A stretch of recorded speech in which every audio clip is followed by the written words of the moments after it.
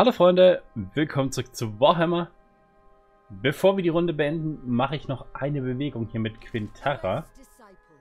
Denn ich hätte sie ganz gerne in Karak Azul. Zumindest für den Moment. Warum? Ist eigentlich recht einfach. Ich möchte ja zwei Repetiersperrschleudern von ihr zu Eremitier bringen. Und ja, er rekrutiert hier noch zwei Runden ein paar Schwestern. Dementsprechend ist es das Leichteste,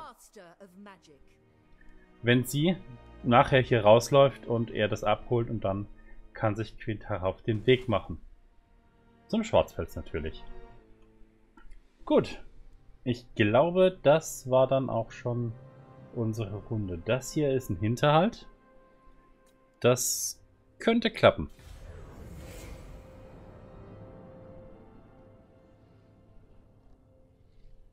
Ich sehe gerade, dass es nicht sonderlich clever war, jetzt erst die Sperrschleuder zu rekrutieren, wenn ich sie sowieso in der Armee haben will.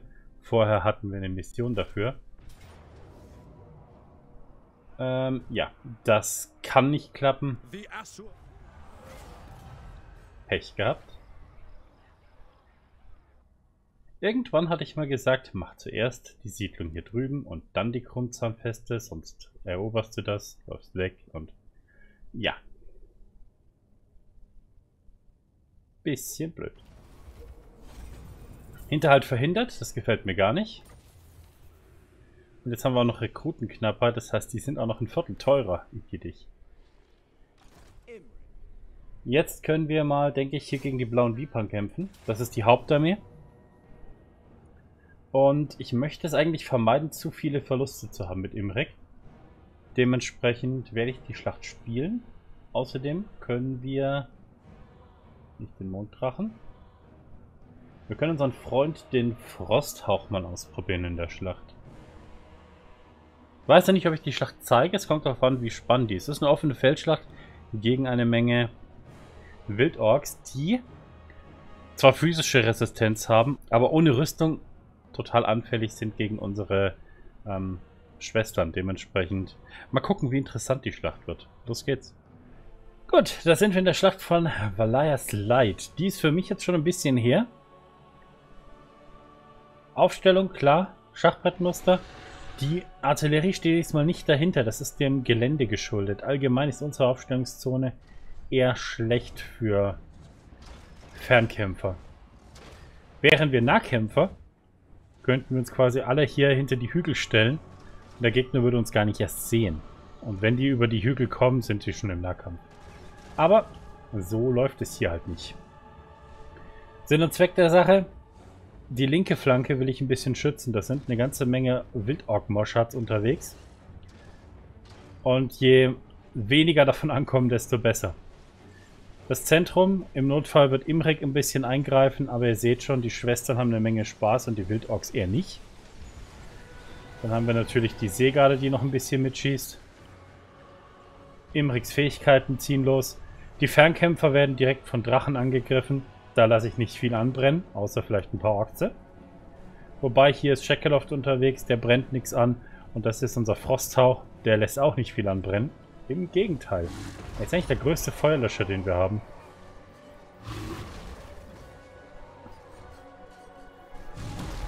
Was die nicht wissen, bei einem Drachen sind beide Enden gefährlich. Die Kavallerie, um die hatte ich mir ein bisschen Sorgen gemacht. Weil die kann uns leicht in die Flanke fallen, aber da die zurückkommen hier, sieht es im Zentrum natürlich viel besser aus für uns. Imrik zieht die Aufmerksamkeit der Truppen auf sich, auch den Ork Wagboss. Und ja, ihr seht schon, die Schwestern, die Seegarde, die helfen da alle fleißig mit. Das heißt, das Zentrum wird locker von Imrik gehalten. Und hier drüben sind auch zwei Drachen mit beschäftigt. Ist ein bisschen ähm, intensiv, was das Micromanagement angeht. So viele Monster über die ganze Karte verteilt zu koordinieren.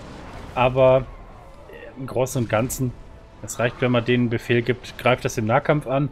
Die KI stürzt sich auf den Nahkampf und dann wird in einfach reingeschossen. Und ihr seht, die Orks sind moralisch jetzt nicht so die stärksten. Die werden sich wieder sammeln, das ist ganz klar. Aber das ist jetzt nichts so wahnsinnig Gefährliches. Die sammeln sich hier hinten. Okay, dann kriegen andere in der Zwischenzeit Beschuss ab. Dann fangen die an wegzulaufen. Und die, die sich frisch gesammelt haben, kommen dann wieder in den Beschuss. Alles, was wir machen müssen, ist den Hügel halten und die Flanken sichern. Und Flankensicherung machen die Drachen eigentlich ganz anständig. Und alles, was sich dem Hügel nähert, wird einfach durch magische brennende Pfeile zerrissen. Oder durch Drachen. Wahlweise. Ja, die Kavallerie hat nicht wirklich viel bewegt. Die hat es nur geschafft, dass der Trupp aus dem Nahkampf rauskommt und hat sich dann selbst zurückgezogen. Das war ein relativ geschicktes Manöver. Und so hängt der Frosthauch jetzt leider hier. Und das ist, wie gesagt, etwas makrointensiv. Aber die Flankengeschichten sind inzwischen uninteressant. Wenn der Rest wegrennt, rennen die auch weg. So, Schlacht geschafft. War auch angemessen erfolgreich. Ihr seht, ja, einiges ausgelöscht und wirklich viel ausgeschaltet haben die auch nicht wirklich. Lief gar nicht so schlecht. Aber, wenn alles klappt, habt ihr die Schlacht sowieso gesehen. War ganz lustig, finde ich. Das werden wir auf jeden Fall machen, einfach damit unsere Truppen möglichst wieder voll sind.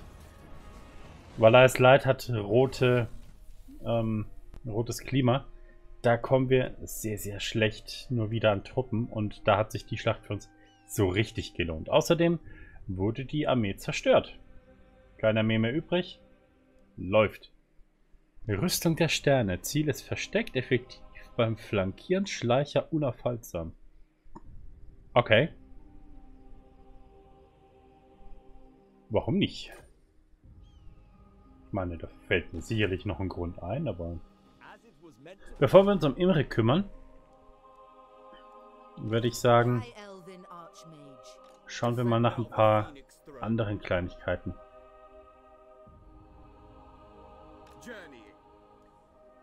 Wir könnten uns auf den Weg hierher machen. Dann kriegen wir die Bitterspitze kaputt. Wir werden aber Tringor Rakatz verlieren. Tolle Namen. Ähm, er hat das hier rekrutiert. Dann... Ich würde sagen, wir rekrutieren noch eine. Dann sieht das auch ganz gut aus. Insgesamt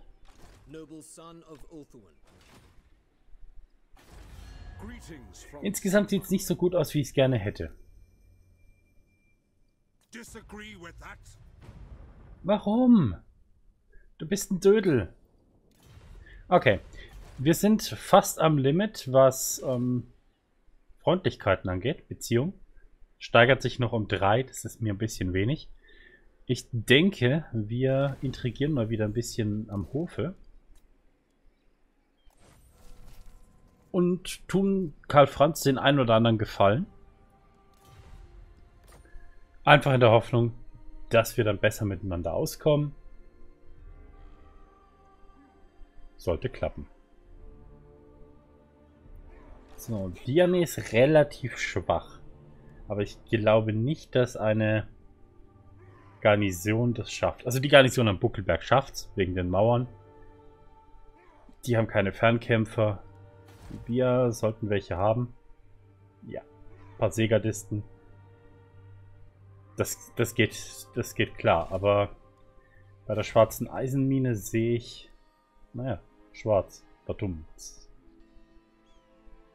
Die Spähträger haben keine Chance im Nahkampf und das ist ein bisschen wenig Fernkampf. Ah.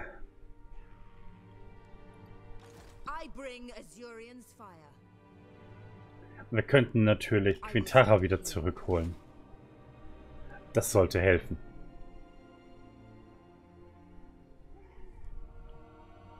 Er hat noch eine Runde, dann kann sie zurückkommen. Ja, das könnte ausgehen. Läuft. Dann behalten wir wenigstens die schwarze Eisenmine. So, die Frage ist, wie gehen wir jetzt mit Karak 8 Gipfel um? Eine 15er Garnison und eine 16er Armee. Das ist ziemlich fies. Mit Imrik aber machbar, würde ich sagen. Wobei ich mich besser fühlen würde, wenn unser Drachenmagier wieder dabei wäre. Ich habe noch keine Meldung erhalten, dass die wieder verfügbar sind. Ja, noch nichts. Aber ich glaube, ich wollte ja auch noch neue Truppen rekrutieren für seine Armee. Allerdings habe ich mir überlegt, wir brauchen bei Imrek Leander zum Beispiel nicht mehr. Leander war dazu da, um unsere Fernkämpfer vor feindlichen Truppen zu schützen. Deshalb hat er sich vor die Armee gestellt, alles auf sich gezogen, alles überlebt und währenddessen wurde fleißig geschossen. Ich habe das Gefühl, die Seegarde macht da einen richtig guten Job und sie kann auch unterstützen beim Beschuss. Und dann haben wir inzwischen den einen oder anderen Drachen, der auch ein bisschen Aufmerksamkeit auf sich ziehen kann. Und wenn die Drachen im Nahkampf umzingelt sind, treffen die Bogenschützen auch weniger die Drachen als ähm, die gegnerischen Einheiten. Dementsprechend glaube ich, dass wir Leander hier nicht mehr brauchen. Nicht unbedingt. Was ich hier stattdessen wieder reinmache, ist natürlich unser Drachenmagier. Ähm, Vigol oder so ähnlich hieß der, glaube ich. Einfach weil der auch auf einem Drachen sitzt und thematisch gut reinpasst und Feuermagie ist eine großartige Offensive. Das passt und dann will ich eine Lebensmagierin in der Armee, um die Drachen wieder hochzuheilen. Das werden die zwei Helden bei Imrik. Welche Einheit ich dafür rauskegel, weiß ich noch nicht, aber da habe ich auch noch ein bisschen Zeit, glaube ich.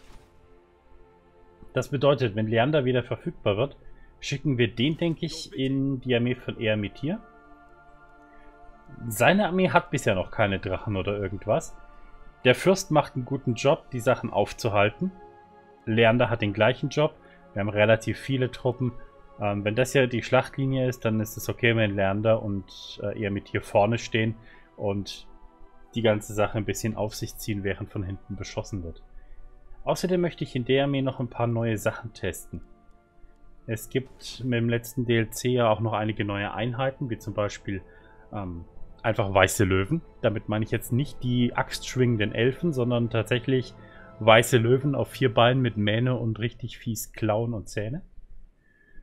Könnten wir hier einsetzen. Das wäre ein schöner Kavallerieersatz, würde ich sagen. Es gibt auch noch äh, weiße Löwen Streitwägen und so ein Zeug. Da könnten wir ein bisschen experimentieren in der Armee. Mal gucken, oder wir experimentieren in Rodies Armee damit. Und wenn die Truppen sich bewähren, dann kommen sie hier rüber. Aber mal gucken.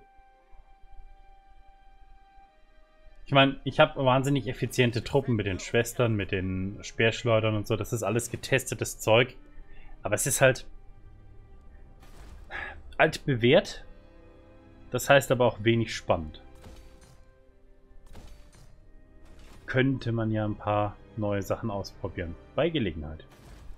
So, Silberpfeile rüsten wir nochmal ein bisschen auf und dann ist das Geld schon wieder futsch.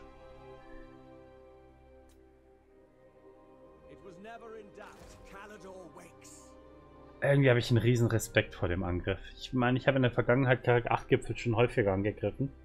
Und so wirklich leicht war das nie. Auf der anderen Seite stehen wir dann kurz vor einem Todesstoß gegenüber den aufständischen Gitzen. Wenn Karg 8 Gipfel fällt, Rode ist in Reichweite der Bitterspitze, dann bleibt nur noch Dring, Dringorakatz. Meine Güte. Wäre schon nicht schlecht. Außerdem dann habe ich eine Sorge weniger hier im Bereich. Was soll's. Ziehen wir es durch. Das wird eine harte Schlacht, aber mit ein wenig Glück... Hm, das könnten wir sogar simulieren und möglicherweise, möglicherweise würden ein paar Truppen überleben. Kann ich hier Blitzschlag?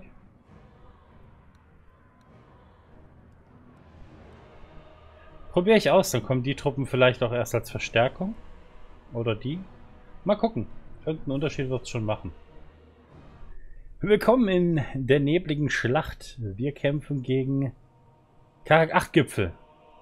Und wir haben es direkt mit einem kleinen Bug zu tun. Die Artillerie soll die Türme beschießen. Und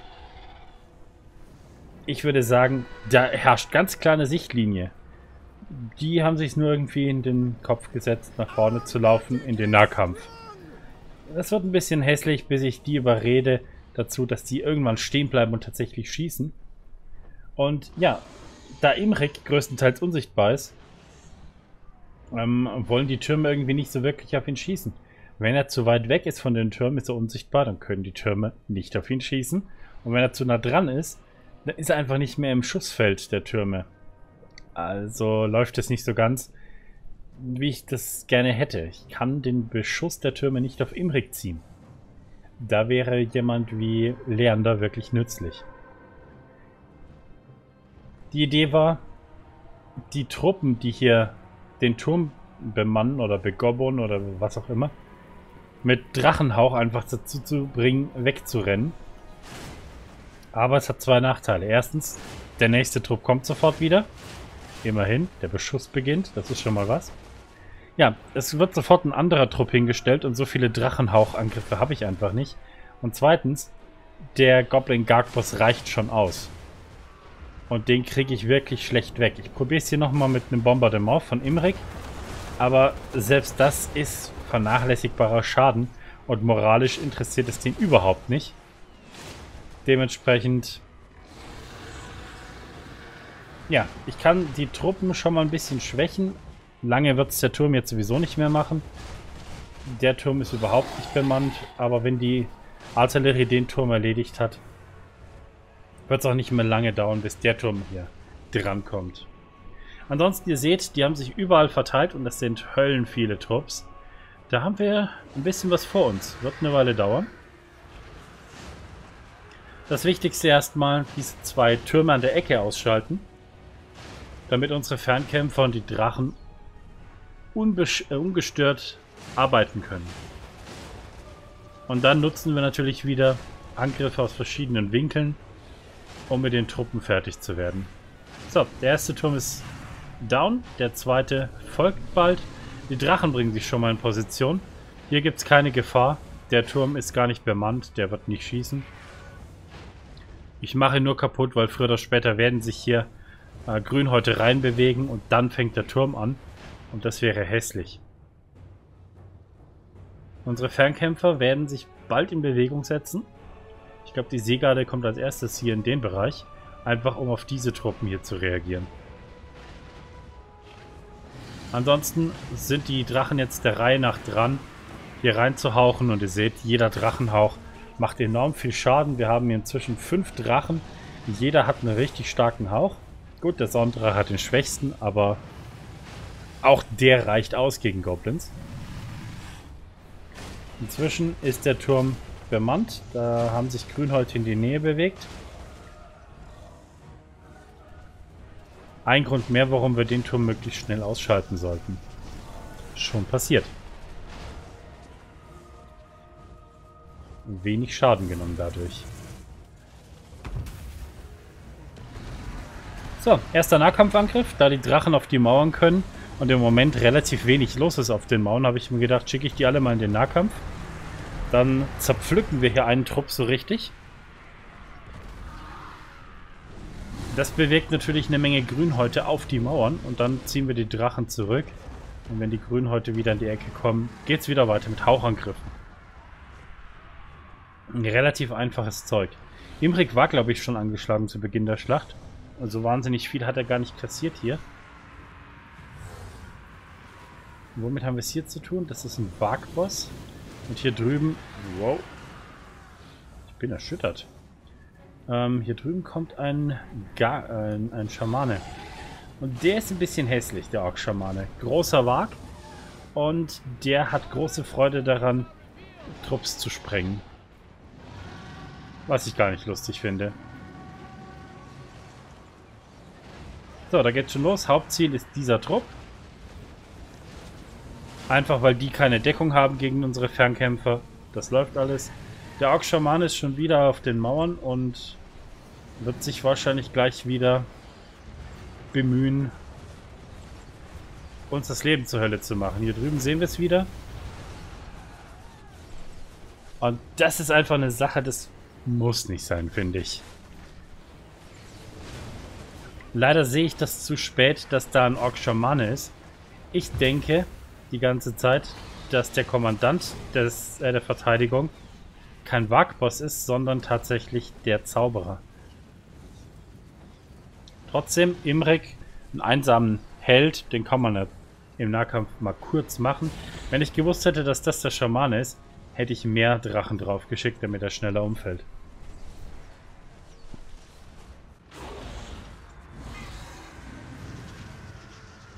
Scheckeloft hat Spaß mit Goblin-Bogenschützen. Die haben eher wenig Spaß dran. Rennen auch sofort wieder weg. Das Schöne an den Bogenschützen ist, dass die über die Mauer feuern können in den Hof. Da haben die Orks einfach nichts zu machen gegen. Ähm, mit Zwergen oder Imperium, wenn man Musketenschützen hat, die könnten sowas gar nicht. Die schießen sehr flach. Die kommen nicht über die Mauer.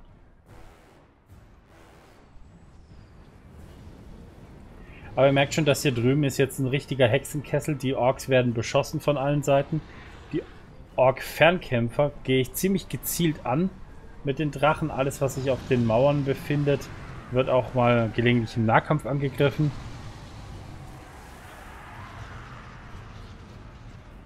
Der Goblin Wolfsstreitwagen hat relativ wenig Reichweite. Der kann fast niemandem wirklich gefährlich werden. Ihr seht, die schießen fast gar nicht auf die Drachen, weil die schon zu weit weg sind. Der Wolfsstreitwagen ist nah genug dran. Und hier drüben die Nachtgoblin-Bogenschützen stehen einfach zu weit weg. Alles, was in die Nähe kommt, wird von den Drachen gekillt. Alles, was hier unten bleibt, wird von Bogenschützen gekillt. Und auf die Art... Ja, ist auch so eine Hauptstadt.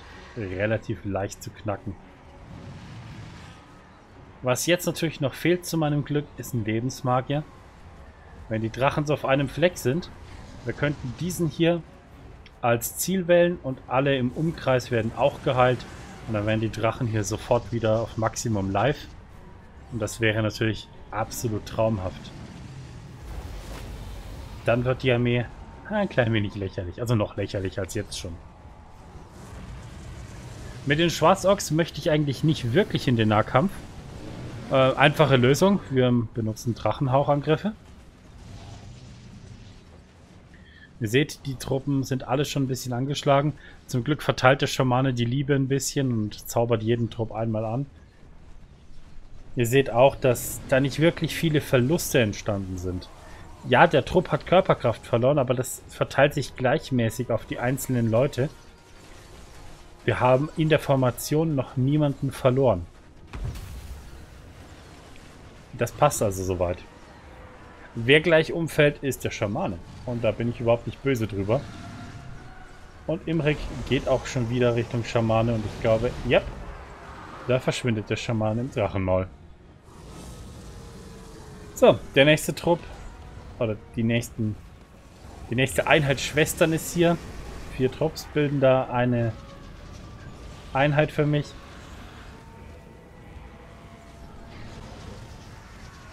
Die lösen quasi die Seegarde ab, weil die Seegarde langsam die Munition ausgeht. Das ist jetzt quasi nur noch der Trupp, der angemessen Munition hat. Aber das lohnt sich nicht, dass der Trupp dann noch lange hier vorne bleibt. Das heißt, die Seegarde wird sich gleich zurückziehen. Und die anderen Schwestern beziehen dann hier Stellung für das übliche Kreuzfeuer. Aber ihr seht schon, die meisten Grünhauttrupps sind stark angeschlagen, rennen weg. Einige sind auch schon zerstört. Und alles, was hier vorne gegen die Drachen kämpft, wird einfach total zerrissen.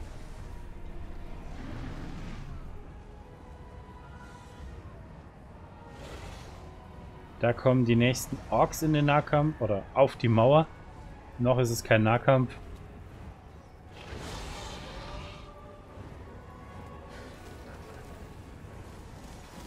Von den Schwestern gesehen und schon geht's richtig los.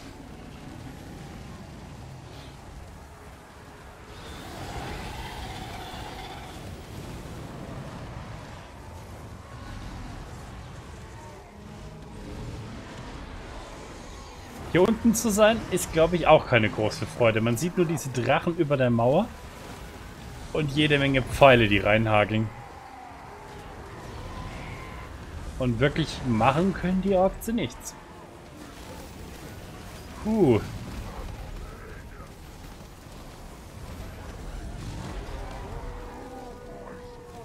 Naja, come on, Boys. Du glaubst ja nicht, dass das wirklich was bringt. Upp. Wie gesagt, die Schwestern bewegen sich jetzt auch schon in Position. Imrik habe ich ein bisschen rausgezogen. Der hat eine Fähigkeit, da heilt er 1000 Trefferpunkte, kann sich aber nicht bewegen. Also bewegen wir ihn vorher in Sicherheit hinter die Schwestern. Da kann er dann ein bisschen hochheilen. Und dann geht es auch schon wieder rein ins Getümmel. Auf den Mauern kämpfen die Drachen ein bisschen. Ein Drache hat einen kleinen Ausflug gemacht. Den habe ich gebeten, die Moschatz anzugreifen, Wildschweinreiter. Und die sind geflohen und haben den Drachen mitgezogen. Aber als ich das sehe, sage ich ihm sofort, zieh dich zurück, weil im Notfall ist auch noch ein Riese in der Nähe. Die haben sehr viel Masse, die Trupps, weil die groß sind. Die können ihn lange im Nahkampf binden und der Riese würde den Nahkampf vielleicht sogar gewinnen. Deshalb kurz über die Mauer befehlen. Der Drache hebt dabei auf jeden Fall ab. Und dann parallel zur Mauer zurück hier vorne an die Ecke. Man hat immer wieder Gelegenheit, die Drachen mal rauszuziehen, dass die zu Atem kommen können. Optimal wäre es, wenn ein Lebensmarke die dann wieder hochheilen kann. Dann könnte man die hier vor der Mauer alle auf einem Fleck versammeln, alle hochheilen und dann wieder reingehen. Ihr seht, die Orks haben immer noch wahnsinnig viele Truppen. Aber die meisten sind inzwischen so gut wie erledigt. Sowohl moralisch als auch körperkraftmäßig. Alles, was in die Nähe kommt, wird von den Schwestern und von den Drachen massakriert. Und ansonsten laufen die immer wieder weg, sammeln sich, kommen wieder her. So wie hier, frische Truppen sind inzwischen eher selten. Und ich glaube, wenn ein Trupp dreimal flüchtet, kann er sich nicht mehr sammeln. Dann ist vorbei. Aber bei drei bin ich mir da nicht sicher. Es könnte auch sein, dass es vier ist. Also da hat man ein paar Optionen. Aber ich hatte das bei Skaven schon häufiger, dass die Skaventruppen immer wieder weggerannt sind und ab einem gewissen Punkt konnten die sich nicht mehr sammeln. Obwohl die gar keine Verluste hatten. Also die Truppen waren immer noch voll. Das mit der Moral, es gibt Möglichkeiten, dass man Moral schwächt. Da gibt es auch Todesmagie für. Ist ganz lustig, sowas gegen Skaven zu machen. Und wenn ein Trupp flüchtet, die umstehenden Trupps kriegen dann auch moralische Schäden. Der hier hat zum Beispiel gerade überhaupt keinen Schaden erlitten. Der hier vorne ist moralisch zusammengebrochen, die sind zerstört. Und die haben jetzt auch schon quasi keine Lust mehr und rennen auch weg. Obwohl die selber eigentlich nicht wirklich das Ziel waren. Die haben vielleicht den einen oder anderen Pfeil abgekriegt, aber in der Nähe stehen von Leuten, die Panik kriegen, reicht schon, um selbst Panik zu erleiden. Ihr seht, die meisten rennen schon weg.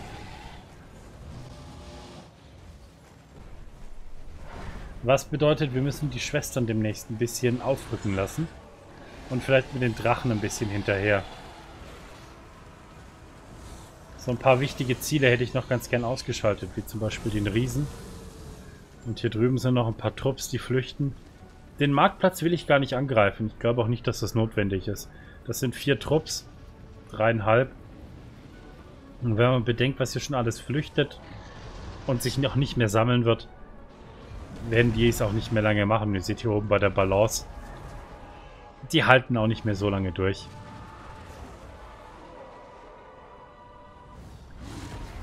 Hier drüben ist der Riese unterwegs. Ich will nicht wirklich mit zwei Drachen gegen einen Riesen kämpfen. Ich wollte hier noch ein paar Truppen verfolgen, dass die möglichst ähm, ausgelöscht werden, aber so wichtig ist das nicht. Die werden sich nicht mehr sammeln, das ist eine Belagerung, das wird alles ausgelöscht. Die verlieren die Schlacht.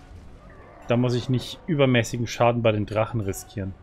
Stattdessen weg vom Riesen. Hier oben gibt es noch einen Trupp, der sich möglichst nicht mehr sammeln sollte. Und hier oben gibt es noch ein paar Nachtgoblins. Um die könnte man sich auch kümmern. Und ihr seht, die haben überhaupt, die wurden gar nicht angegriffen oder irgendwas. Und die sind jetzt eigentlich schon kurz davor, auch wegzurennen. Einfach nur, weil die Drachen in der Nähe sind. Die verursachen Angst und Entsetzen. Und andere Trupps sind an denen vorbeigeflohen. Das reicht schon eigentlich. Die Fanatics sind zu weit weg. Die sind quasi hinter Imrik. Die werden nicht mehr viel machen. Und jetzt ist der Trupp schon im Nahkampf.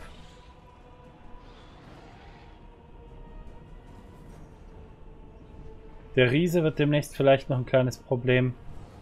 Hier ist der Turm inzwischen von irgendwas besetzt. Ich bin mir aber nicht sicher, wie das noch eine Sache ist. Weil unser Drache ist eigentlich hier. Ich sehe keine Orks oder Goblins, die das besetzt halten. Ich schätze, es liegt an den Ork-Moschats irgendwie. Dass die Trupps inzwischen auseinandergezogen sind. Aber die Schwestern sind inzwischen durch. Das sollte nicht viel passieren. Die haben nicht mehr viel Munition, aber es reicht, um den Riesen ein bisschen zu schwächen. Und ansonsten haben wir drei Drachen in der Nähe. Sobald die Drachen hiermit fertig sind,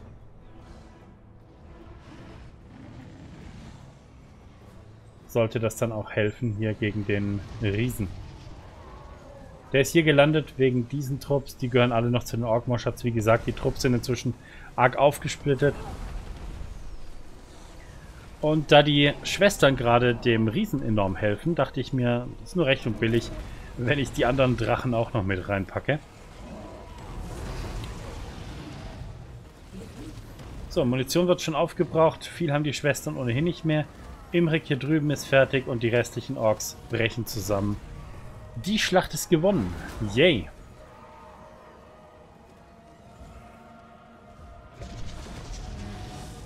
Schamanen sind das einzig Gefährliche bei Belagerungen. Und Drachen sind vielleicht einen ganz kleinen Tacken zu stark. Aber ansonsten lief das gar nicht so schlecht. Für uns. Für die Grünhäute nicht so sehr.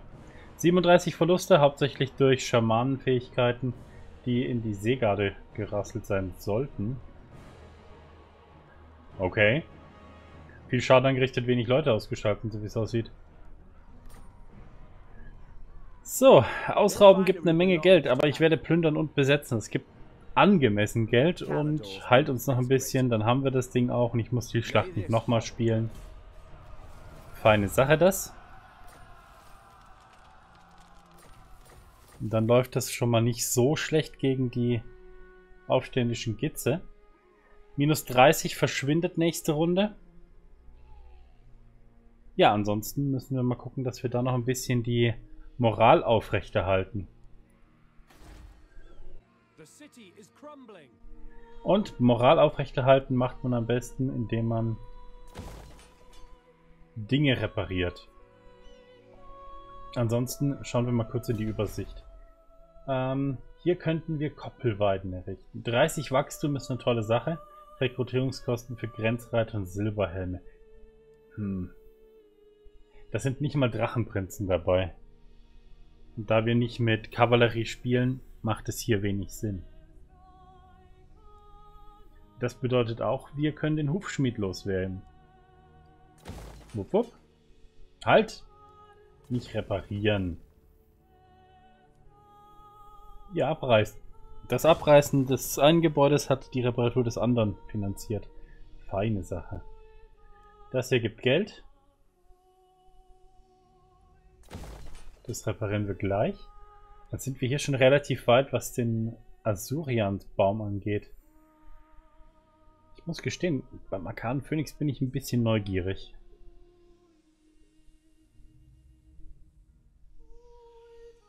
Und ja, den Hain können wir, denke ich... Nee, da können wir Kriegslöwen rekrutieren. Die wollte ich ja mal testen. Das heißt, hier behalten wir den Hain vorerst. Das läuft. Und dann könnten wir hier eigentlich noch Elfengärten errichten. Einfach nur weil halt. Und dann sind wir mit Karg 8 Gipfel vorerst fertig. Ja, Imrik. Und da könnten wir ein bisschen die Richtung hier. So. Waffenstärke 3% ist zu wenig. 15% beim Kampf gegen Grünhäute, Skaven, Dunkelelfen, Chaoskrieger, Norska und Tiermenschen. Also die ganze dunkle Palette, abgesehen von Vampiren, aber mit denen wollte ich mich sowieso nicht anlegen. Gegen Grünhäute werden wir noch eine Weile kämpfen. Also wäre Mutter Zeitalter Stufe 2 vielleicht gar nicht so schlecht. Ich meine, 15% von über 800 ist einfach viel Zeug. Darf man nicht so ganz vergessen. Im Süden haben wir noch Clan Morse. Chaoskrieger werden sowieso früher oder später auftauchen, gelegentlich auch mal Tiermenschen. Hauptsächlich geht es um die Grünhäute und das wird noch eine Weile dauern, bis wir die kaputt haben. Aufständische Armeen werden auch Grünhäute sein. Sie ist immer noch Level 11. Passt. Erst nächste Runde fertig mit Rekrutieren. Okay. Dann sieht es hier schon mal wieder gar nicht so schlecht aus im Karak 8 Gipfel. Dann können wir uns mit Imrik auf den Weg in den Süden machen. Da haben wir hier unten ein bisschen aufzuräumen. Rodier kann nächste Runde die Bitterspitze erledigen, wenn alles nach Plan läuft.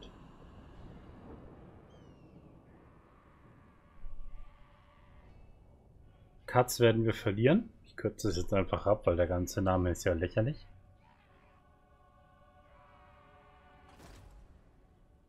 Technologie stehlen, das ist okay. Das schadet uns nicht wirklich und die Orks können ein bisschen schneller erforschen, aber...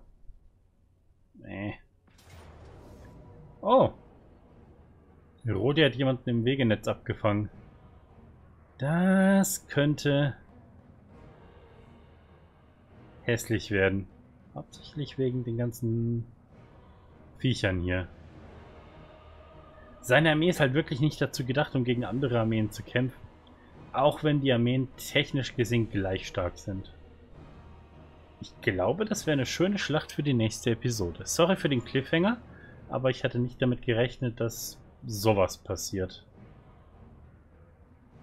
Yep, das machen wir in der nächsten. Bis dahin dann. Macht's gut, haltet die Ohren steif. Ciao, Freunde.